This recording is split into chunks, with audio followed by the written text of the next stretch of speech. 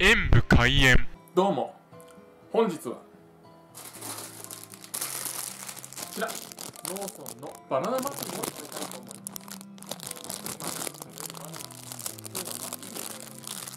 マフィンってあんまり食べることないか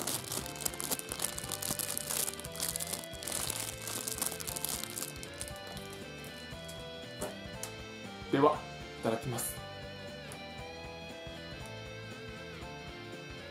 マフィンだけじゃなくてチップでもあるんですね。2種類味楽しめるなんて幸せです。中にはバナナが練り込まれておりその上にはザックザクのバナナチップがトッピングされていました。ザクザクしっとり普段食べる生のバナナとは違う食感と風味が味わえてとっても美味しかったです。ご視聴ありがとうございました。コメントしていただけると嬉しいです。パソコンおよびスマートフォンのアプリの方はクリックをお願いします。